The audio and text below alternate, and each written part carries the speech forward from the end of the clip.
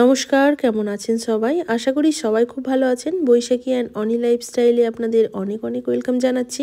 তো আজ আমি আপনাদেরকে মুখরোচক স্বাদে টমেটোর চাটনি বানিয়ে দেখাবো। একদম অনুষ্ঠান বাড়ির মতো করে।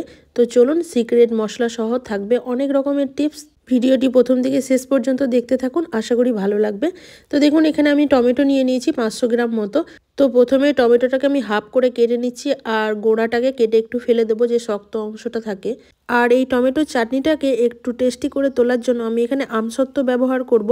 তার সাথে কিছু ড্রাই ফ্রুটস দেব এবং ফ্রিজে থেকে যাওয়া বা বেঁচে যাওয়া কিছু ফল পড়ে আছে, সেইগুলো আমি এই চাটনিতে ব্যবহার করব।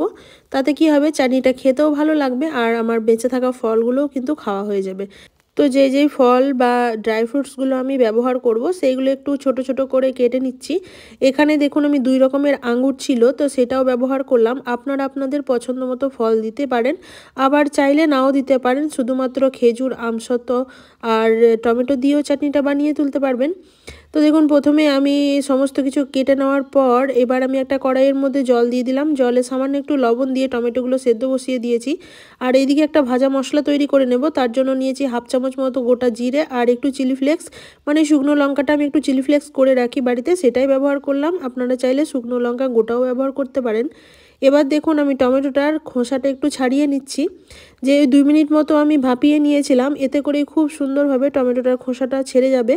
আর এই টমেটোর খোসা কিন্তু যতই আপনি রান্না করুন আর সেদ্ধ করুন না কেন, কোনো মতেই কিন্তু এটা সেদ্ধ হয় না। টমেটোর খোসাটা কিন্তু খুবই খারাপ লাগে খেতে, তাই আমি একটু তুলে ফেলে দিলাম। এবার দেখুন আমি কি কি নিয়েছি। এখানে কিছু ড্রাই ফ্রুটস নিয়েছি, যেমন আছে কাজু আছে। কাজুগুলো আমি হাফ করে ছাড়িয়ে নিয়েছি, কিশমিশ নিয়েছি কিছুটা। আর দুই রকমের আঙুর তো দেখালাম, কাটলাম, সেগুলো নিয়েছি। আর আমসত্ত্ব নিয়েছি আর খেজুর নিয়েছি। আর একটা পাতিলেবু নিয়েছি, সেটা আমি শেষে ব্যবহার করব। আর এদিকে যে টমেটোটার স্কিনটা ফেলে দিয়েছিলাম, সেটা। আর এখানে আমি পরিমাণ মতো চিনি নিয়েছি, মিষ্টিটা আপনারা হিসাব মতো করে নিয়ে নিতে পারবেন। তো প্রথমেই কড়াইয়ের মধ্যে দিয়ে দিলাম সর্ষের তেল, দুই চামচ মতো।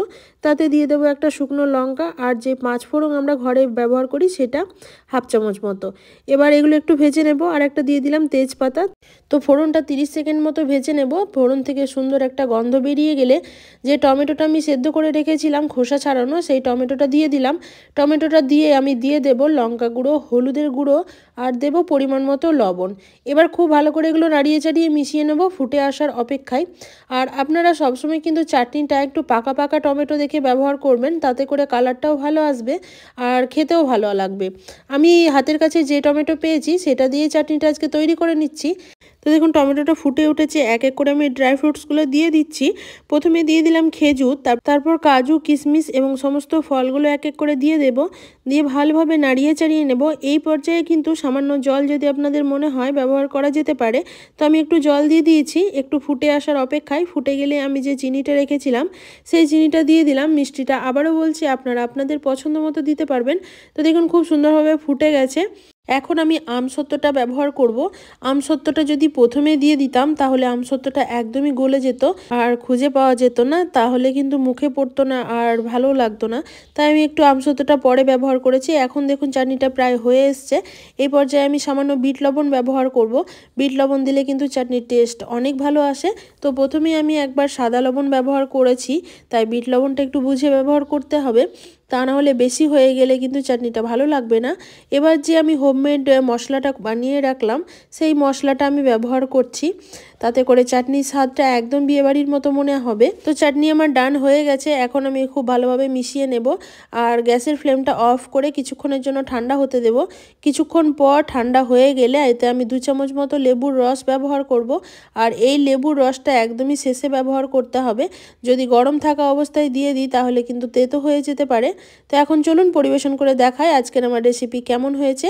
ভিডিওটি যদি কোথাও একটুও ভালো লেগে থাকে তাহলে কিন্তু অবশ্যই একটা লাইক করবেন, একটা কমেন্ট করে জানাবেন কেমন লাগল। আর আমার চ্যানেলে যদি নতুন বন্ধু হয়ে থাকেন তাহলে অবশ্যই চ্যানেলটা সাবস্ক্রাইব করে বেল বাটনটা অল করে দেবেন যাতে যখনই কোনো ভিডিও আমি আপলোড করি আপনাদের কাছে খুব সহজেই নোটিফিকেশান পৌঁছে যায়। তো দেখুন চাটনির কালারটা কত ভালো এসছে আর খেতে কিন্তু দুর্দান্ত হয়েছিল। বাঙালির শেষ পাতে যদি এমন একটা চাটনি থাকে তাহলে তো আর কোনো কথাই নেই। সবাই ভালো থাকবেন সুস্থ থাকবেন টাটা!